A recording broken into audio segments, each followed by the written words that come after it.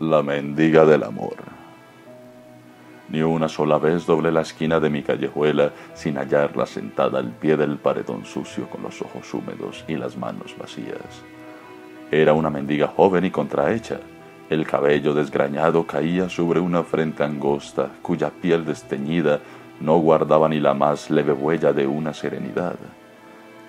Sus labios jamás tuvieron un color de vida que constatara con la marchitez de las mejillas por donde habían resbalado las lágrimas, todos los desdenes llegados y todas las hambres estacionarias. Solo sus grandes ojos agradaban por una expresión vivísima en que se mostraba un alma aguijoneada por la necesidad. Cuando la pobre muchacha caminaba me hacía sentir la repugnancia que nos provocan no los desgraciados, sino sus desgracias aquellos hombros tan cercenados a la cintura, ese brazo izquierdo que la parálisis había soldado al cuadril y sobre todo el taconeo de la muleta, a cuyo compás se estremecían los harapos, me producían un escalofrío que crispando mis nervios acaloraba mi cerebro y hacía mis miradas que descansaran hacia otra parte. Afortunadamente aquella mujer vivía sentada, cuando la noche empezaba a caer, la mendiga empezaba el trabajo de levantarse. Agarraba con los dedos la mano viva de un hueco del paredón y trajinaba afanosamente hasta ponerse de rodillas. Y una vez de pie, tomaba el camino del arrabal, tropezando a cada paso, porque aquellos nervios que destemplaba el hambre flaqueaban al descender la calleja oscura en cuyo término se hallaba la ruina del corredor que amparaba su sueño. Por la mañana volvía al lugar preferido. Raro era, en verdad, que en vez de buscar los sitios concurridos en donde el número de transeúntes aumentaba la probabilidad de las limosnas, aquella infeliz prefiriera quedarse pegada a un sitio aislado, recibiendo de frente los rayos solares que caldeaban el empadrado donde descansaban sus miembros.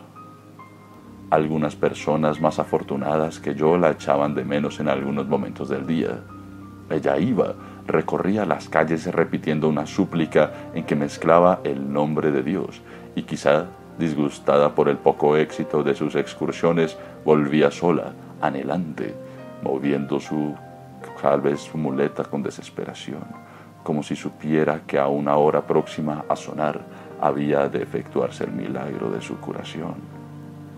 Al llegar a la esquina se transformaba pausaba las pisadas, dirigía los ojos a una ventana y sonriendo volvía a sentarse con una resignación estúpida. Yo no le doy limosna, me decía una vez mi vecina, porque ella voluntariamente ha renunciado al amparo del hostal. ¿De veras? Sí, y tiene además la torpeza de emplear limosnas en bagatelas. Ha comprado un collar de cuencas de vidrio, unos arcillos azules y una caja de colorete. ¿Para quién o cautivar a quién? La vecina se sonrió. ¿Por qué sonreía la vecina? Una tarde hacía yo mis reflexiones después, y de ahí fue cuando pensé en la felicidad del amor, en mis felicidades lejanas y en mis felicidades desconocidas. Me asomé a la ventana, miré al espacio y se me disparó su nada. Poco a poco el éter se fue opacando, el cielo sentía frutaciones tal vez de maternidad con la aparición de cada estrella, y entre el clamor del ángelus la tristeza llegaba.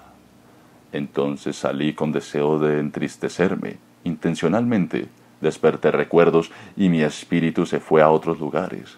Así anduve mucho tiempo y así mucho tiempo estuve en las desembocaduras de una calle. Cuando fui a caminar trapecé con la mendiga. Me imploró con los ojos y arrastrándose, cortó la distancia que la separaba de mí.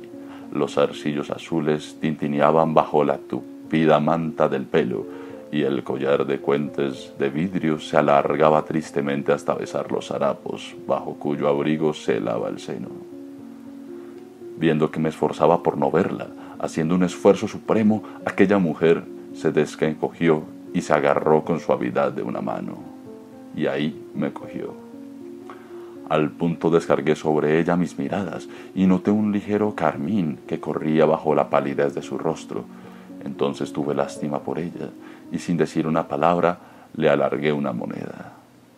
No, no quiero eso, exclamó furiosa y con un milagroso sacudido se puso de pie. Mascullando una blasfemia, tomó calle abajo estremeciendo el silencio con sus sollozos. Cuando pensé decirle algo, solo escuché el lúgubre sonido de la muleta que se prolongaba bajo la noche, como diciendo, no, no, no.